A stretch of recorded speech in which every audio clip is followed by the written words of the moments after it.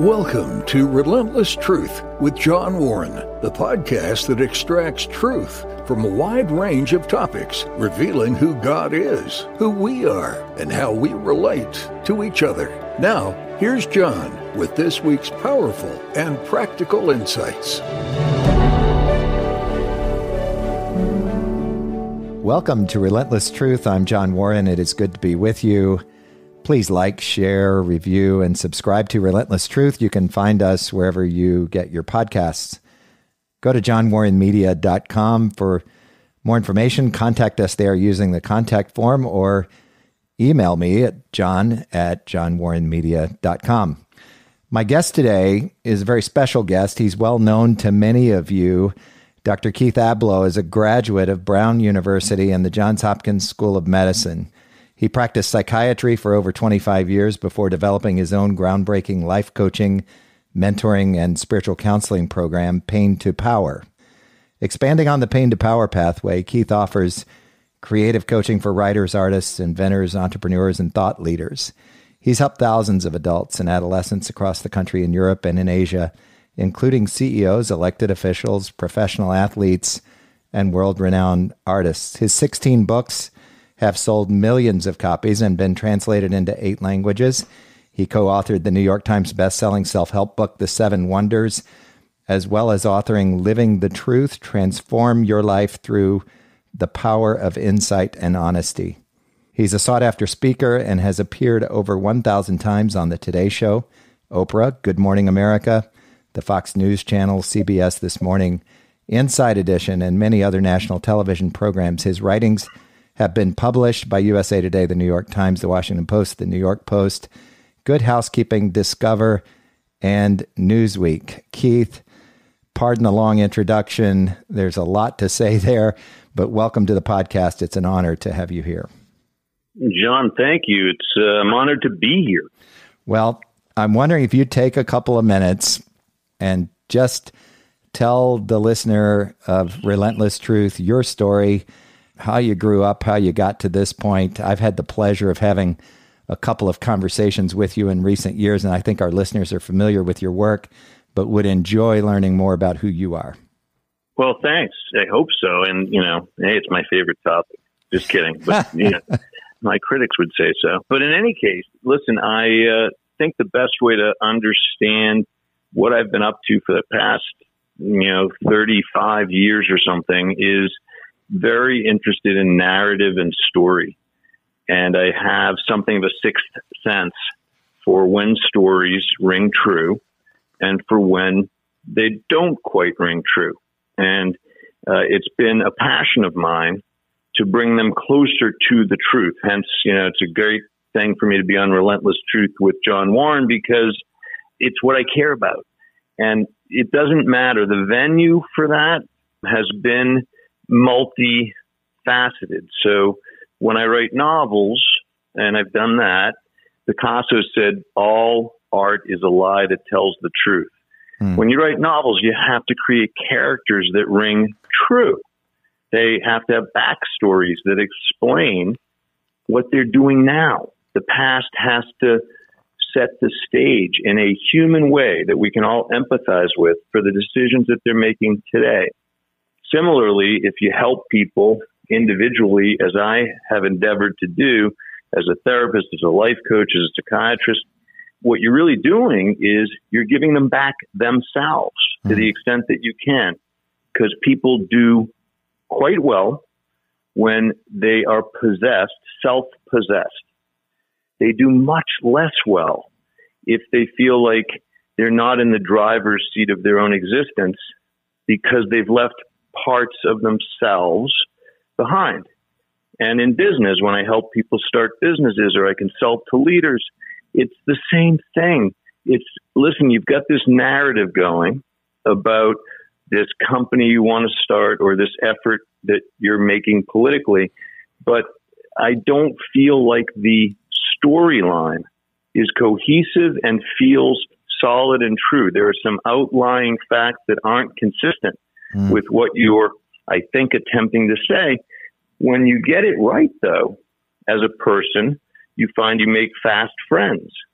right? If you if you know who you are and you're willing to say it, you can form incredible relationships, not just with yourself and with you know the infinite, if you will, or God or the universe, but with other people. Usually, that's about connecting around the things that people tend to jettison or bury, things we empathize with. And when you get it right with art or literature, it's because you've constructed something mm. that people say, yeah, I get it.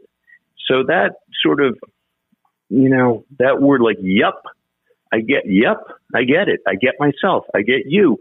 Whatever it is, that's been what I've been striving for. And it's probably because in my own life experience, like every person, you know, there were some truths, some half truths, and some coming to terms with both that becoming an adult involved. Right. And uh, it's a lifelong journey, really. So that's a little bit about me. Um, and it kind of hopefully sets the stage for our discussion because it's really what I care about is listen, let's just get to the core truth and things actually will unfold pretty well from there.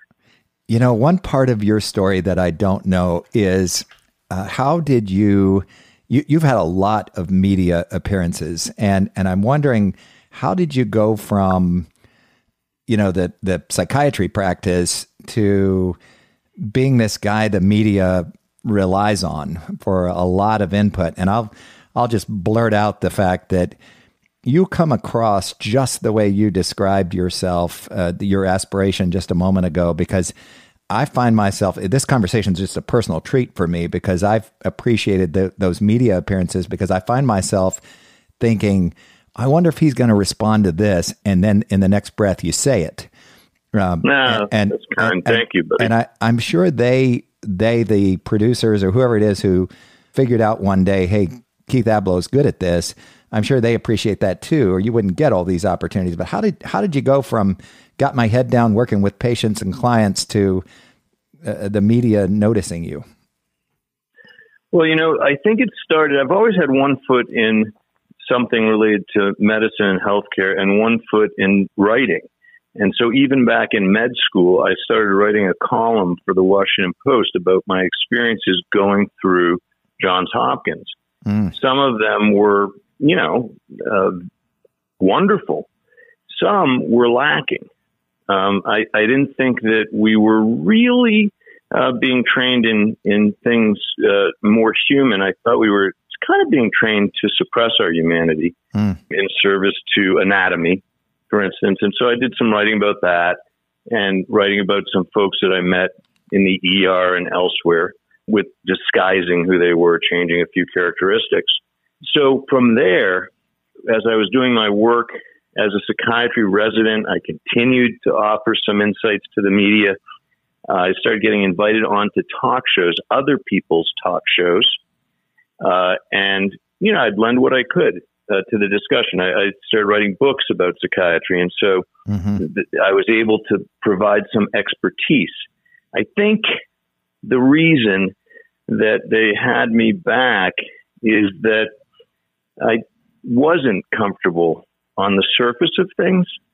And so I didn't take a traditional path, and I don't take a traditional path with either clients or with interviews or being interviewed. I really try to say while doing them, wait a sec, what's this feeling I have inside about this this guest or this topic Mm-hmm. Uh, and I try to be really truthful. So even, you know, when I was on Fox News as a contributor, I was there 10 years or whatever. And I remember since Fox is a conservative network, they were very excited when John Edwards had a baby with his videographer outside of marriage. Mm-hmm.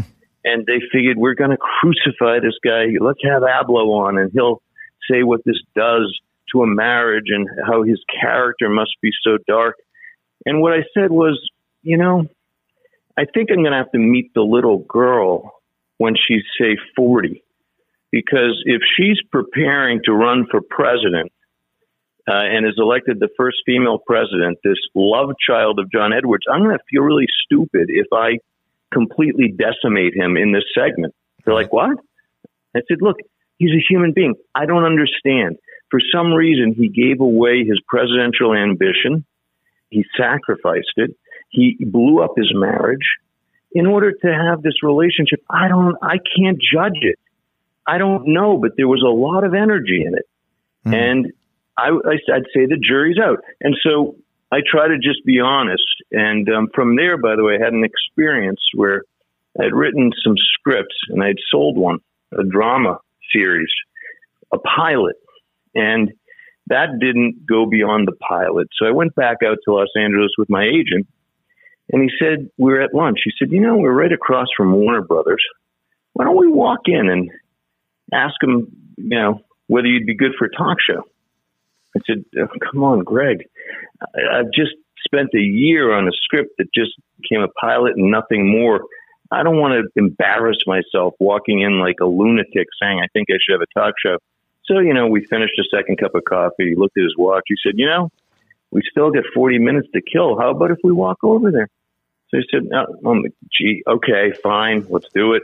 Anyhow, we ended up signing a contract for the talk show that I ended up doing uh, for Warner Brothers. And I think there's a lesson in that, that sometimes you got to listen to when things are aligned and be willing to say, huh, that's interesting. Yeah, I guess we are across the street. Let's go. Yep. Well, I, there's a lot there in everything you just said to unpack. I agree with your assessment of Fox News, and I see their their value and also see the piling on from time to time. And that's exactly what I was talking about when I said that you you always handled the topic well, whether you're on a conservative or more uh, left leaning or even moderate network. But one of the things you you talk a lot about is fear, and uh, you know the.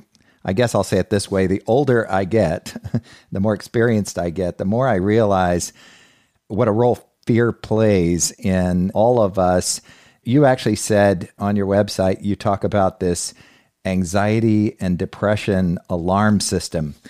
And I, I don't want to get us off track, but I, am wondering if you could just talk about current um, events a bit over the last few years with the political environment, COVID, all the tension over over social issues, um, uh, and now Russia invading Ukraine. All of this uh, sort of combines to give me the impression that the world is kind of in a funk. And I see fear and tension everywhere, much more prolifically than in normal times. Knowing you can't solve the world's fear in you know those challenges in a podcast episode, but would you just talk about what you see when you observe people dealing with this environment today? Well, uh, yeah, I can. And, you know, I think it goes back to what we talked about sort of at the top of the hour, which is that people do best when they are possessed of themselves. Under a lot of pressure, people can be pushed away from center. They become off center. And so they're in a survival mode and they feel like, oh my God, I got to catch these 17 balls. There's no way I'm going to be able to do that. And God knows, God knows what's going to happen next. And anything could. And what will that mean for my money? What will that mean for my family? What will that mean for the world? You know, I can't solve that in a podcast, but what I can suggest is that it never fails, it turns out. And I'm 60 now. So, you know, I've had some time to be panicked myself and think whether it made any sense in, in retrospect. I'm, right there. Much, I'm right there with you chronologically, right? just, just so you know. So we got two 60 year old guys, Keith Ablow and John Warren, talking to each other here.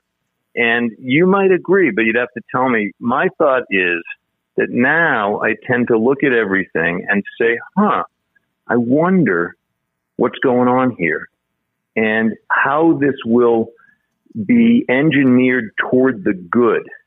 Because I think that in fact things tend toward the good. And even when there's chaos, there's always something to reap from it. So we would have said, uh, what good can possibly come of the Russian invasion of Ukraine? What possible good could come of it? And I think any one of us would say we'd be tempted to write that chapter out of history books, have it never happen. Now, that's, I suppose, understandable. But we'd also have to say, huh, okay, so there's this guy who inexplicably, Zelensky, comes to represent courage, grace under pressure, a commitment that's almost inexplicable. Unbelievably. To, right? Unbelievably, unbelievably to defending you know, his country and saying, hey, I'm here. Now, we don't know how many people, young people, are inspired by that example, what role they'll play in the world in the future, uh, how his bravery might destabilize some countries, including Russia, uh, where democracy isn't in force. And so you'd look at it from the beginning and say, oh my God, they're going to be decimated. It's going to be over. Uh, you know what? We had to wait it out. The future defines the past. Mm. And if people can kind of lean into things and say, if, if nothing else, this tumult, this chaos in my own life, let's say it's in your own life, what does it offer me? Well, at minimum, the opportunity to confront it head on with your head held high and say, you know, my kids are watching me. Uh, my loved ones are watching me. Maybe some other people are watching too. And the way I conduct myself, that could be a gift mm. to others, including, you know, your kids. You, you confront adversity, illness, God forbid, and you could say, well, I didn't want it, but it sure does look like an opportunity to show strength under pressure and tell people I love them, for instance. Mm-hmm. Yeah, that's such good perspective. I'm, I'm wondering, I'm struck by this wisdom and discernment that you just talked about. You, and you did so in the context of aging uh, or your age. And I think those life experiences are so valuable. My work is, as you know, kind of half financial and economics related and about half focused on theology and philosophy. And I'm able, after many years in banking, for example, to see patterns in organizations and in the economy. It's just it becomes easier over time to see that that next layer, as you just said it, that next layer of thinking. I'm wondering, you obviously see these patterns in people, and you talk about that a lot. Would you comment on a few of the, I call them in the business world, common threads that you see in terms of the way people deal with, say, fear poorly or anxi- sure. anxiety poorly? Yeah, I think uh, first, there are people who deal with it well, and there are people who deal with it less well.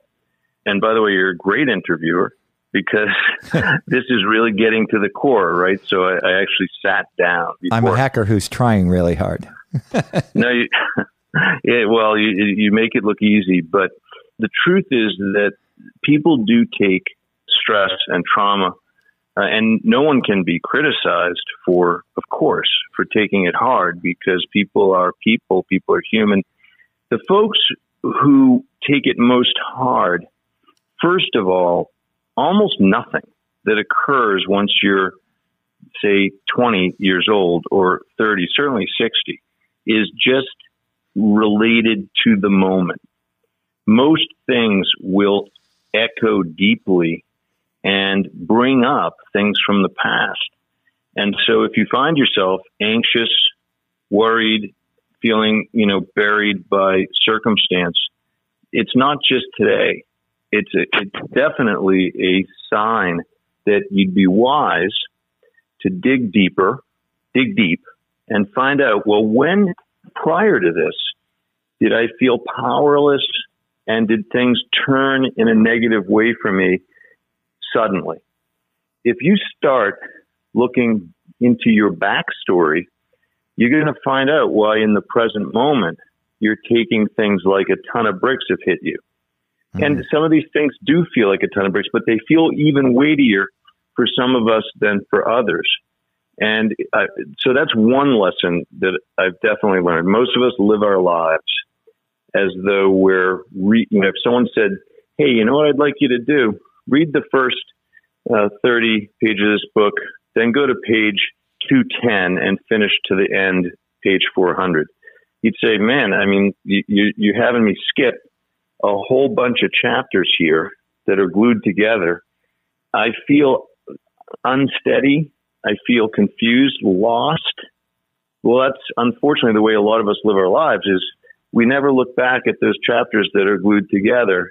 Very often that's where some of the richness could come from because we have bound up power there. That's where the whole pain to power thing came from to begin with, the, what I call pain to power, because basically if you can do it, if you can go back and say, man, I experienced these things as an 11, 12, 7, 15 year old, and I was ill equipped to deal with the loss of my dad's business or the house burning down or the fact that we moved 11 times or the fact that my grandmother, who I loved so much, died.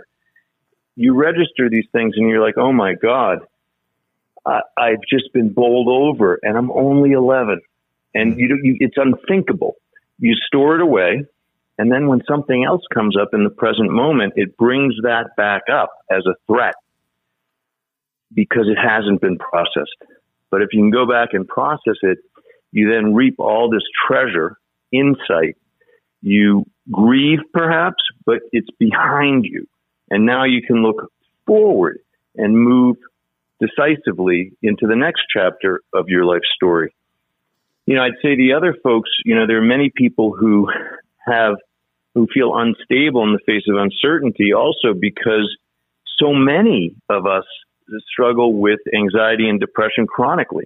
It's epidemic. Mm-hmm. And so, you know, you add on a couple bricks and people feel like, well, that, that's the, you know, straw that breaks the camel's back because people are already running on empty and you tell them, hey, you know, X percent more of your income is going to go to gasoline and food and inflation's rising. And anyhow, they're not sure if there's a new variant of the virus and people say, I, I, I feel dizzy. I feel like I'm going to faint from the, the number of variables I can't control.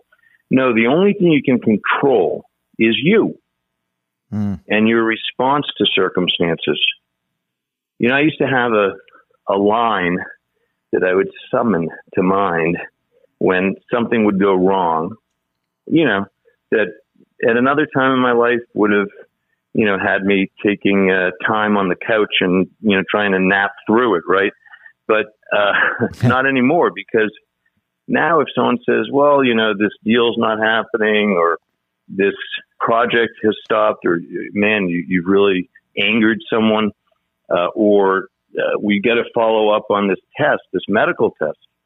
Anything like that, I, I tend to summon this line that I generated when I was younger and my kids were younger, which was I would I would say it in my mind, not out loud. I would say, ah, yeah, but you're not a pediatrician.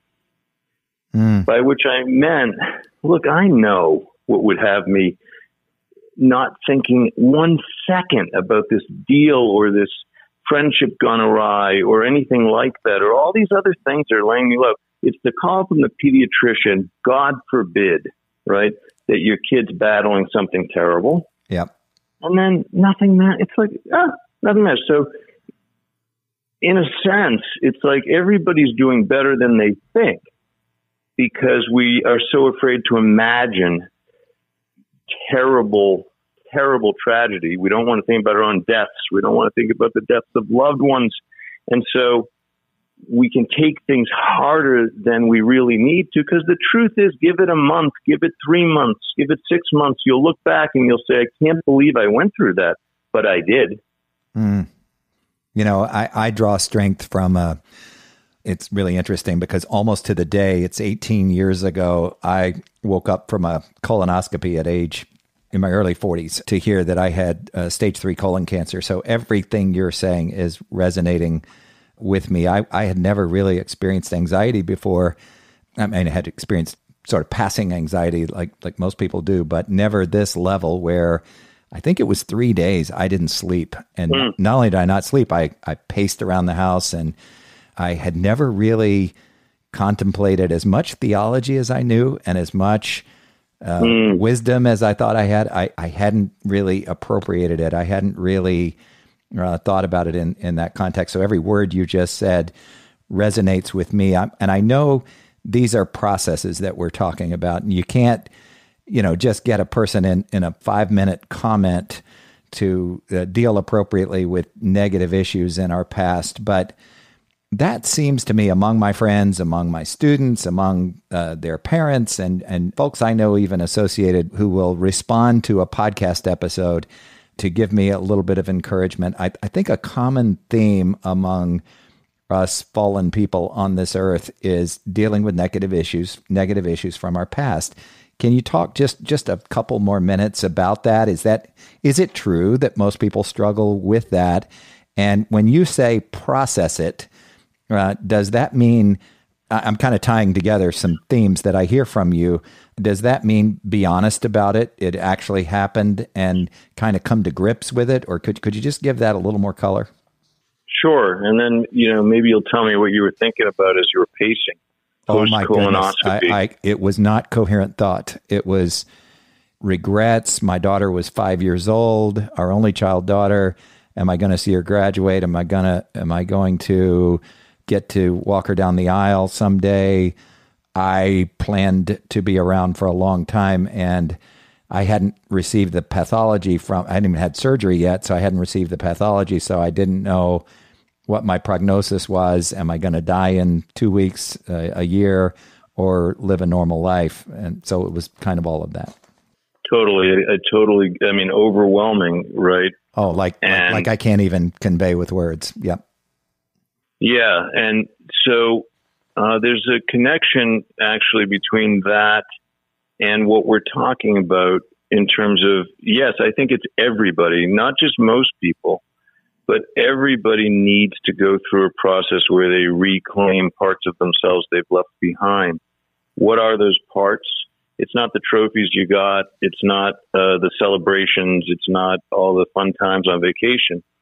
Generally, what people need to reclaim are the tough times and all of the worry, angst, sadness, and anxiety that went along with them that got buried and did not get thought through. No one commiserated fully with the experience. And therefore, the things we bury, they don't stay underground comfortably. They multiply underground. Mm. They become more powerful, kind of like if you had a boiling pot with a lid on it. If you experienced the loss. I'm just going to pick something almost trivial, but you know, it's not trivial. You know, the loss of your dad's business and a change in your circumstances when you were eight and you saw the worry in your parents' face and you know that you moved and you had to leave a neighborhood because you didn't have the dough to stay. Well, you know, it might be, believe it or not, that 30 years later, when you're introduced to a wonderful partner that you might start a wonderful business with, you stop short, you panic. And why are you panicking at the dawn of something potentially great? Well, because in your history, it wasn't great for your dad. You know, someone stole from him. It resulted in all kinds of financial calamity for your family. And you're unconsciously thinking, you know what? Uh, business equals bankruptcy. And I can tell you, it might be an hour or two hours, not a month, two, or five years for a talented therapist, life coach, psychiatrist to dig deeply and say, well, wait a sec, you just told me how your dad lost his business. Whoa, how did that play out for you? What happened? Mm. Well, this happened, that happened. And well, and how do you figure this will end for you if you go forward with the business? So it all ends up, the things that we try to turn our back on end up in front of us, anxiety wise. And, hmm. you know, you've spoke, and, and so it's everybody, by the way. And, and it's more than just our life experiences because we're human and mortal and vulnerable. And so what don't we want to think about? Things like, yeah, I am mortal, aren't I? And I could get to go to the doctor and get a bad set of labs or a bad, you know, diagnostic exam. Any time, by the way.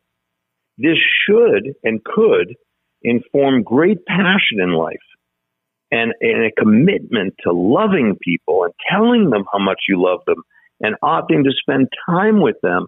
Why? Because if we told each other the truth, we'd say, dude, you know, you're telling me you might do it in five years, take this trip, right? Five years? Are you out of your mind? Exactly. Do you know what can happen in five years? Exactly. exactly right.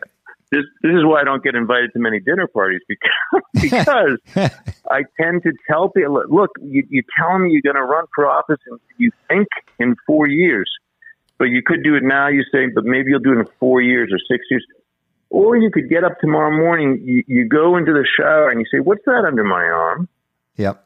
Now, I don't want to freak anyone out or make anyone more anxious, and you'd confront that too, just as you did. Yep. Right? Yep. And and you couldn't have, but now I bet you could say again, you'd never sign up for it, what you went through. Right. But what I don't want to say gifts, but what um no no they are they are light gifts. came out of the darkness? What uh, what light did come? What yeah? Tell me. I don't mean to turn tables on you here, but No, there's there's a Uh, long list, man. That everything you just said is is absolutely true of my experience. I love more. I value instead of thinking about my daughter's wedding or graduation, I thought about you know the next day with her, the next moment. Um, Mm. and It was just powerful the, the the lessons learned, and I I'll tell you this. This is counterintuitive, and this isn't about me, but I want to hang on to the lessons learned, the feeling, even the emotion of the lessons learned. And not those three days that were so stressful, but I started to make progress after that. I, I got a CT scan. I had some blood work done. I had surgery. I had six months of chemo. And with all mm. of those milestones, I I began to make progress and my prognosis. I, I drove my oncologist crazy because I would ask him, what what's the probability now of a recurrence? And, and, and then we'd go through some more treatment. What's the possibility now?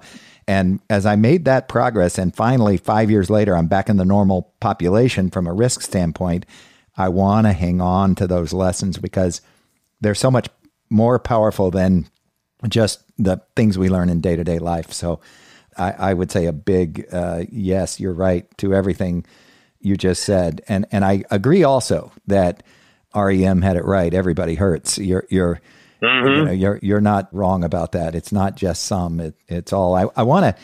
I've got this audience of young people, high school and college students, and maybe slightly older than that, and their parents. And I'm seeing something that you're kind of getting at with some of uh, uh, your commentary today. And I'm wondering if you could just talk about them for a moment. They're often in this environment a little more pessimistic about the future. And, and I think it comes from maybe a perception that the adults in the room haven't acted in their best interest. And th- these are smart young people, so they they care about the national debt, government overreach, uh, long term economic outlook, and all that. But as a young person, and I I know this is a, a very sort of myopic, small focused issue, but I think it's so weighty and important in that I think we put pressure on them at this age and we say things, really stupid things like the next four years will determine the, the course of the entire rest of your life. And I, I know well meaning parents say that, well meaning teachers say that, well meaning advisors say that, but, and, and there's some truth to the fact that some decisions are more important than others. But that pressure just sometimes grinds them into this fear and anxiety that we're talking about. And I, I'm wondering if you could just talk about young people in the context of the future, if you would. Well, thanks. That's uh, it's a nice opportunity to do that, and really, it's not that the next four any the next any four years will define your entire future. First of all, so that you know, you, it's anxiety. That's when right. parents say that, they're expressing their own anxiety. Like, well, you could cause me anxiety if you don't have a job. Oh, The truth. say say say that one more time because that's right. I mean, that's you're talking about the parents experiencing anxiety and transferring it to the child, to the student. Absolutely. And, you know, again, I, I wish people would let the jury stay out longer, right? Because you cannot fathom, discern, uh, diagnose what's going on without taking a breath. I mean, how many people would have told Vincent van Gogh, dude, wrap it up? Lots of them. You haven't sold a canvas. Yep. Get a job, like get a real job, Well, right? you know, sell so- cars. So true.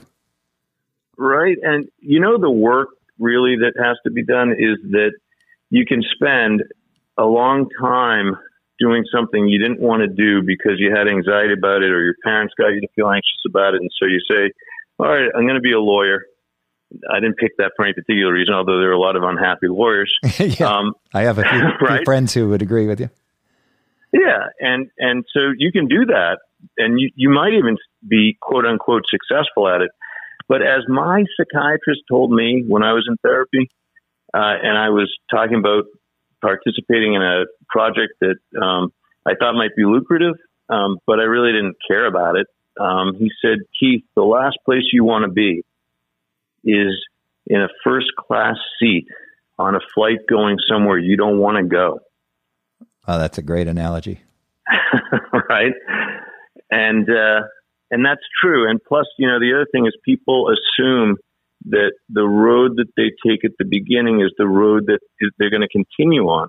There are people who start as teachers and end up owning enormous education consulting companies. There are people who start as teachers and love it and they continue to teach and they're happy doing it.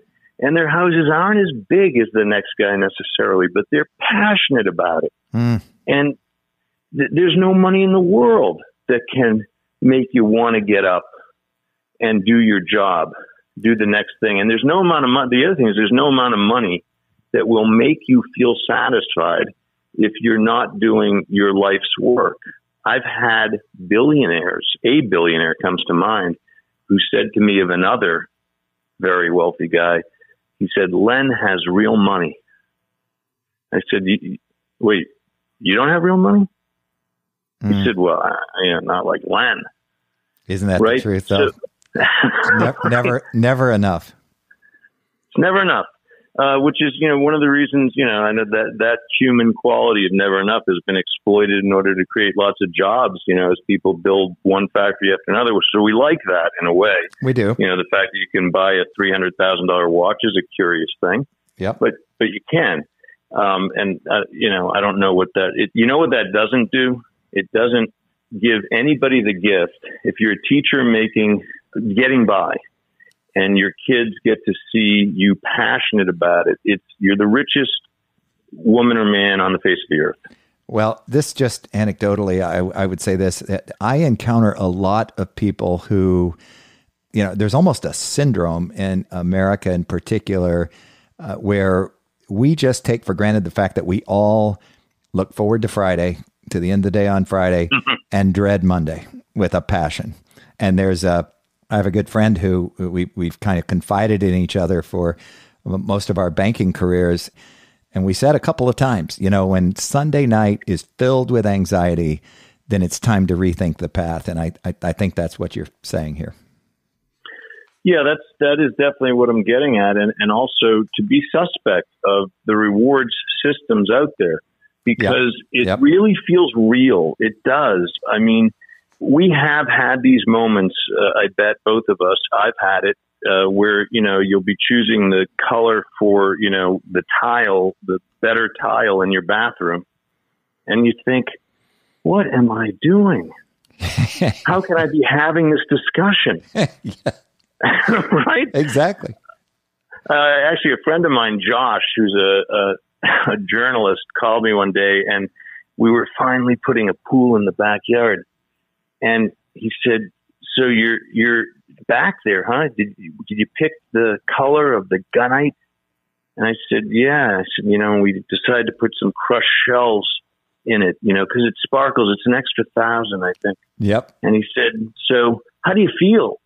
I said, "I feel half like this is fun and half like I wish they would pour the gunite over my head.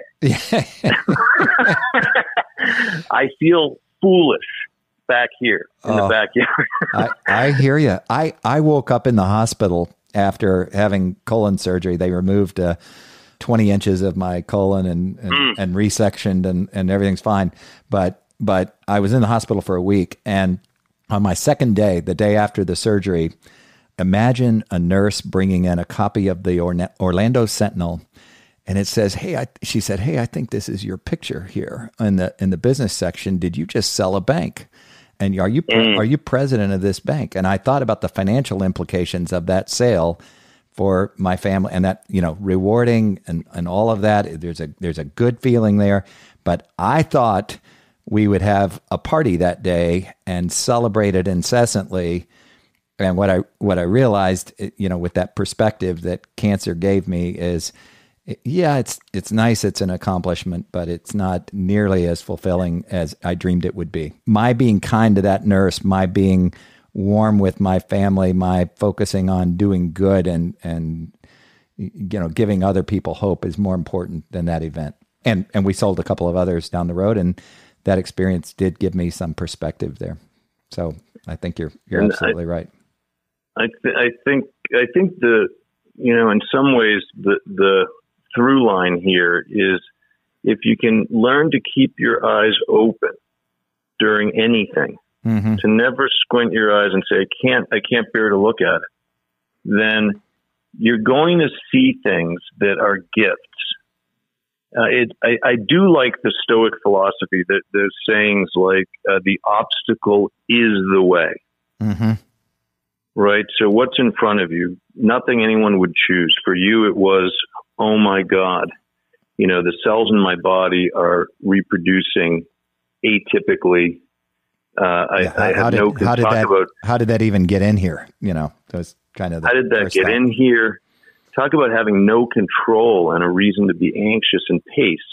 Now, on the other hand, you could say, yeah, I mean, you can't. It's hard, but but but it's possible for human beings to say, all right, well, I'm still the master of my destiny. I'm still the director of this chaotic shit. I'm going to put my ducks in a row. I'm going to arrange my care make sure that I, you know, access those things that are possible to access because I want to survive and I love people. I'm going to tell people I love them. I'm going to learn more about this. I'm going to keep my eyes very open for anything that might unfold to the good mm, during right. this bad period. And I'm going to do that in the, again, the way the Stoics said, uh, um, love your fate, that you don't just tolerate your fate, if you can ever get here, by the way, for any of the young people who are listening, if you can ever get to the point where you say, I'm not just tolerating my fate. I'm not just afraid. I'm certainly not running away from it. I'm actually embracing it. Mm. If you were like five guys looking across the battlefield at 150 better armed people, you're not going to run. You're not going to cry and commiserate.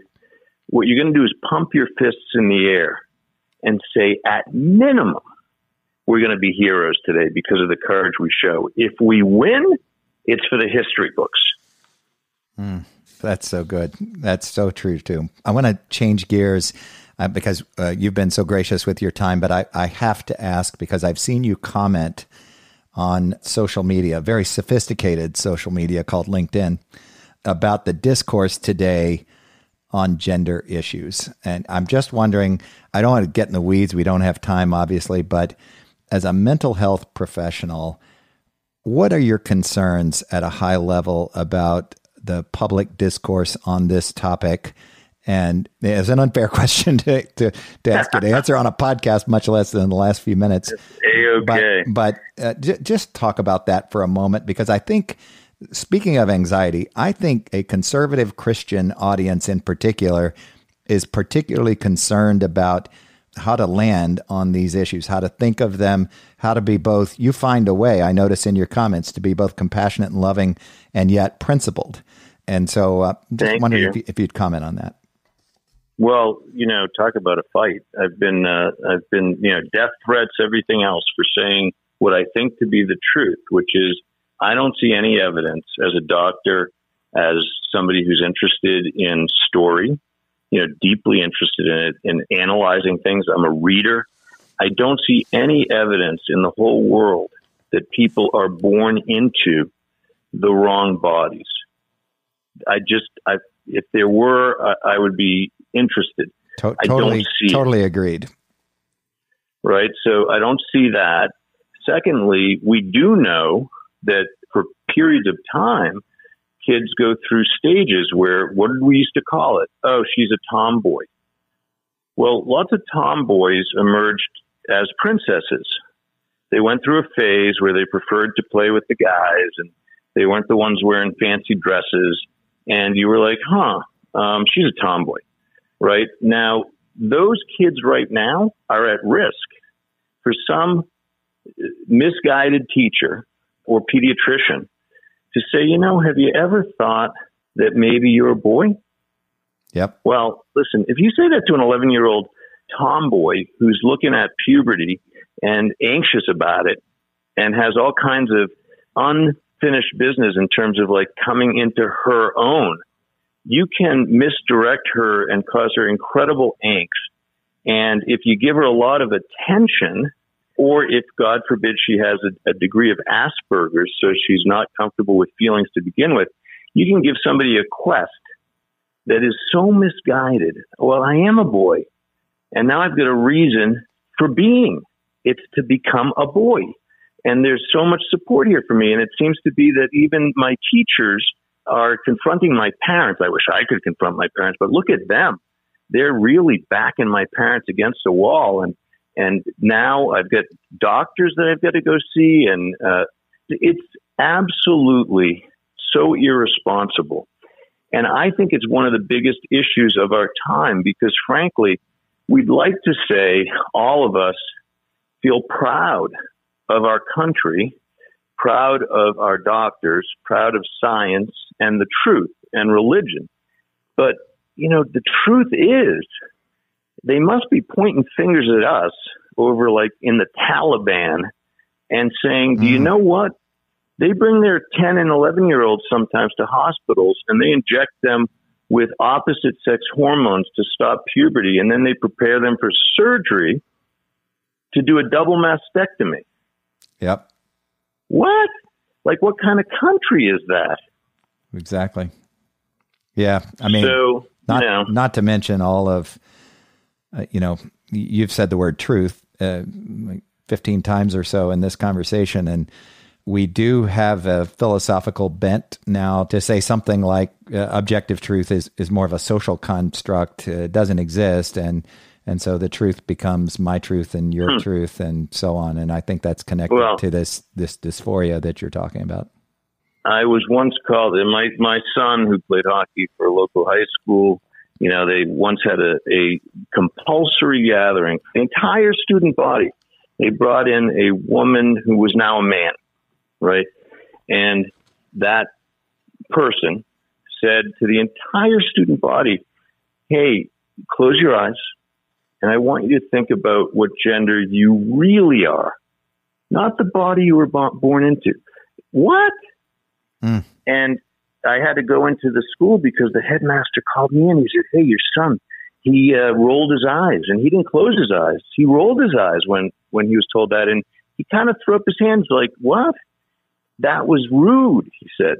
Mm. I said, well, do you have, where's the binder that you have, by the way? You, it took me an hour to get here. You probably put together a binder.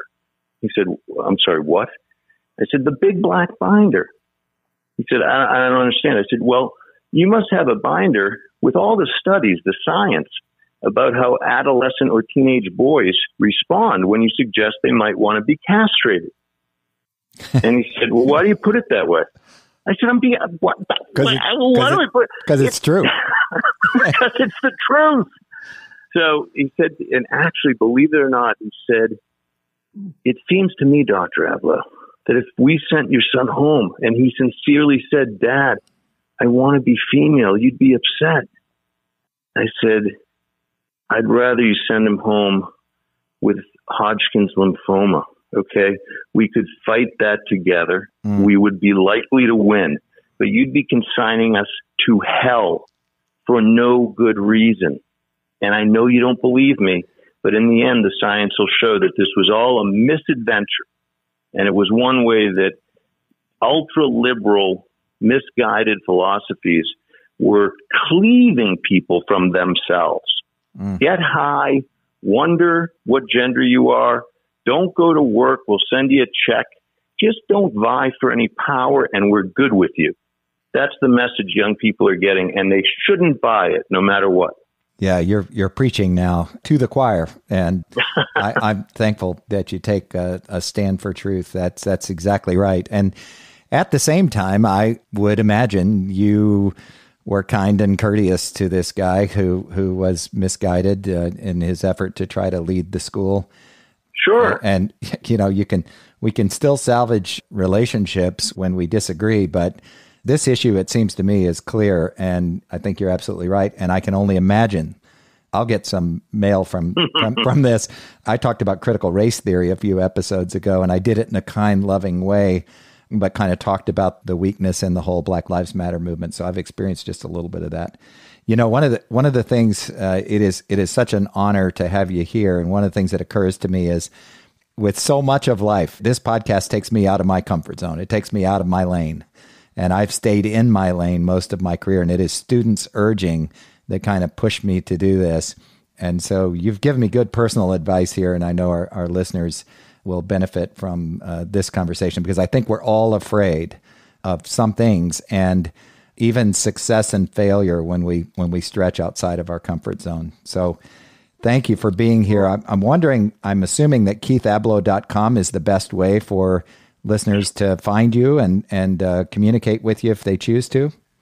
It is. Yeah, keithablow.com. And uh, again, you know, my job in this world is to try to help people find themselves in whatever way they want to. And uh, so that's uh, that's how you find me. Well, uh, this, I feel this, very privileged to do that work. Well, this this has been uh, on a scale of one to ten. This is a ten, uh, and I I, I, I, you, really, buddy. I really appreciate it. Our our guest today has been Dr. Keith Ablow. I hope you've enjoyed his wisdom and discernment as much as I have. Please go to johnwarrenmedia.com for more information about our work. And until next time. Thanks for listening to Relentless Truth with John Warren. Please consider sharing this podcast and subscribe to receive future episodes. Connect with John regarding your comments, questions, and show ideas through johnwarrenmedia.com or at John Warren Media on Facebook, Twitter, or Instagram. That's all for this episode. Join us next week for another edition of Relentless Truth with John Warren.